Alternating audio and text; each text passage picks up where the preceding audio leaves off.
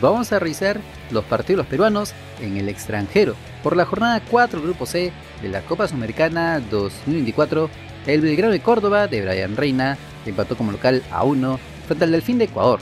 El atacante nacional fue titular, jugó hasta los 85 minutos, cumpliendo una regular actuación, estando como extremo por ambas bandas, moviéndose por todo el frente de ataque. Lastimosamente no se pudo asociar con su compañeros en la ofensiva, ni los habilitó en el área contraria. Tampoco pudo rematar al arco rival, mientras que retrocediendo a defender, apoyó con intercepción de pelota, cortes a atacantes contrarios, ganando en el 20% de los individuales, en un partido relativamente parejo, por lo que no pasaron de la igualdad con los tantos de Franco Jara y José Enrique Angul. Con este resultado, el equipo del Pirata Cordobés sigue como puntero de su grupo con 6 unidades. La próxima fecha deberán recibir al Real Tomayapo de Bolivia el 15 de mayo, pero antes debutarán en la Liga Profesional de la Argentina el 12 de mayo ante el Racing Club de Avellaneda.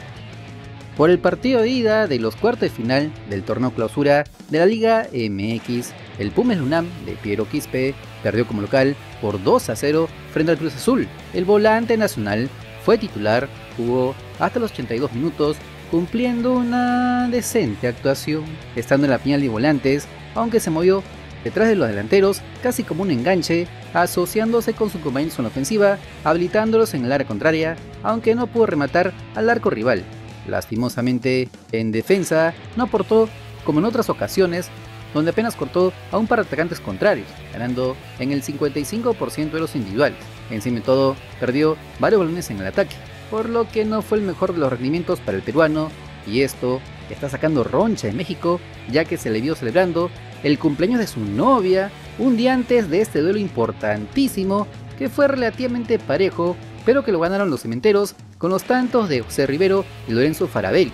Con este resultado, el equipo felino deberá revertir el 2 a 0 en la vuelta a jugarse en el Estadio Azteca el 12 de mayo, donde esperemos que Piero Quispe pueda subir su nivel y se concentre al 100% en el fútbol y no se distraiga con cosas más interesantes, para que de esa manera clasifique a su equipo a las semifinales del torneo. De lo contrario, lo veremos de vuelta en el Perú, entrenando en las instalaciones de la Videna con los seleccionados nacionales que ya se encuentran presentes de cara a la fecha FIFA de junio y la Copa América de medio año.